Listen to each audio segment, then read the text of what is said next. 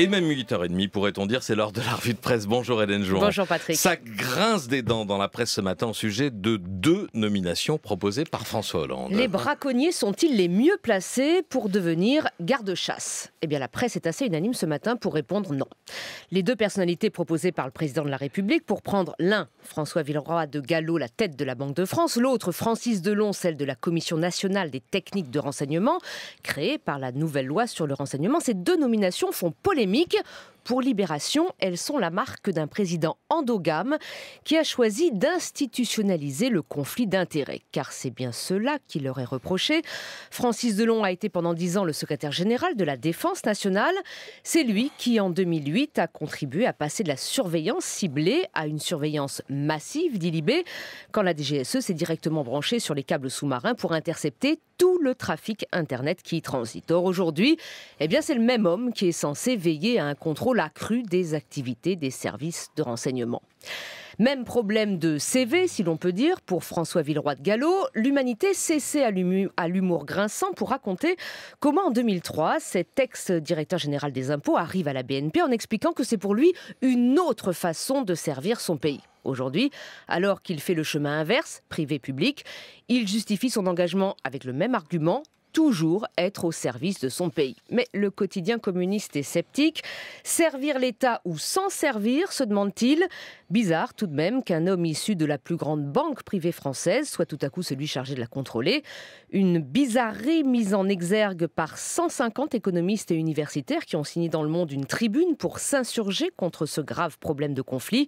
Alors l'intéressé a tenté de prendre les devants en s'engageant notamment à ne participer à aucune des décisions concernant la BNP pendant deux ans, en assurant aussi qu'il ne percevrait aucune rémunération différée de la banque. Rien n'y fait.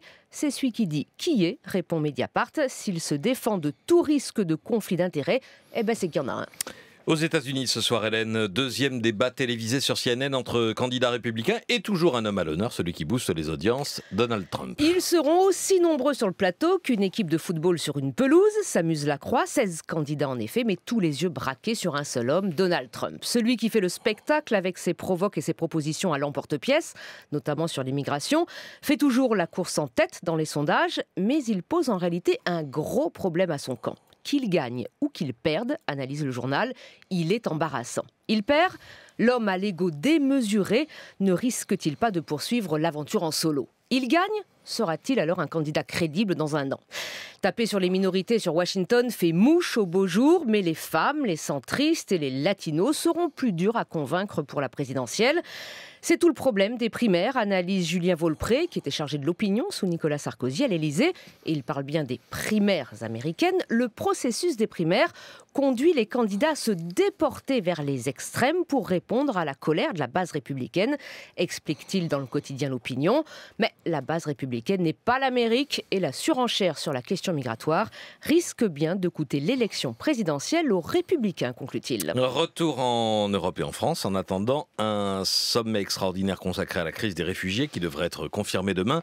Question ce matin dans vos journaux sur la distinction faite entre les migrants et puis euh, les réfugiés Exactement le seul point sur lequel les 28 se sont mis d'accord lundi soir au cours d'une réunion qualifiée de fiasco par le monde, c'est la mise en place rapide de hotspots, ces structures chargées d'enregistrer et d'identifier les demandeurs d'asile. Mais la Croix s'interroge à sa une sur les dilemmes de l'accueil entre réfugiés et migrants.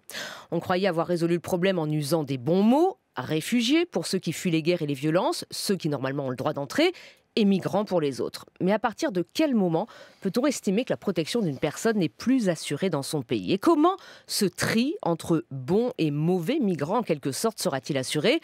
En appui de cette difficile question, le témoignage, toujours dans la croix, de Sédou, un Burkinabé de 38 ans qui n'a qu'un projet d'avenir, tenter l'aventure, comme on dit à Ouagadougou, l'aventure d'arriver en France pour échapper à la misère, au racisme, aux raquettes qu'il a subies en allant travailler depuis quelques années dans d'autres pays africains. Je préfère être emprisonné en France que libre en Afrique, dit-il. Pourtant, Sédou aura du mal aujourd'hui à se faire reconnaître comme réfugié. En attendant, pendant que tous vos journaux pointent la pagaille qui règne à la tête de l'Europe sur cette question des réfugiés, Philippe Dans Charlie Hebdo met des mots poétiques et douloureux sur cette crise.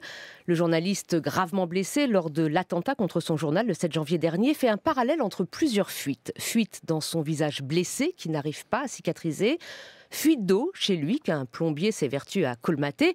Et cette fuite, celle des réfugiés d'Afrique et du Moyen-Orient. Fuite ouverte depuis longtemps, rappelle-t-il, mais que nul n'avait songé à réparer. Elle a donc fait ce que les fuites font quand on les ignore, écrit-il. Elle a élargi le trou méditerranéen, la rendant plus difficile à résorber. S'il y a pourtant quelque chose qu'on apprend en chirurgie, en plomberie, c'est que le corps est solidaire, dit joliment Lançon, et que pour colmater une fuite, il faut en affronter les causes. Culture et sport. Pour finir, Hélène. Much Love, de le film de Nabil Ayouch, portrait de jeunes prostituées vivant dans les rues de Marrakech, sort aujourd'hui dans les salles en France. Nabil Ayouch, vous le savez, a dû affronter depuis la présentation de son film à Cannes en mai dernier une très violente controverse au Maroc. Film interdit, insulte, menace de mort sur les réseaux sociaux.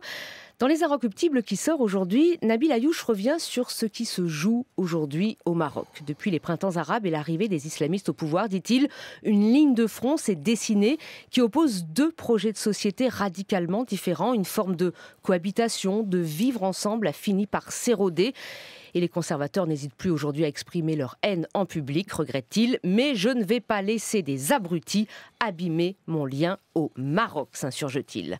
Un mot pour finir de l'équipe française de rugby, désormais installée dans un manoir vieillot d'une banlieue de Londres en attendant leur premier match samedi. Une équipe sous haute surveillance, notamment de la presse britannique, toujours à l'affût d'occasion de French bashing. L'envoyé spécial du Figaro raconte que pour avoir osé critiquer la taille des lavabos et la piètre qualité de la literie, eh bien, le pilier du 15 de France a eu les honneurs du Daily Mirror ce week-end et pour avoir trouvé terne la banlieue de Croydon, lieu de naissance pourtant de Kate Moss, une journaliste de la télé française s'est retrouvée dans la tourmente. Alors le valeureux journaliste du Figaro répète, n'empêche qu'il répète quand même trois fois dans son papier qu'il pleut à Croydon et que cet endroit file le cafard. On craint pour sa sécurité, mais rassurez-vous, le, le 15 de France, lui, se concentre sur son entraînement histoire de ne pas se faire tacler avant évidemment d'arriver sur le terrain samedi. Merci, c'était euh, Hélène Jouan pour la revue de presse sur Inter.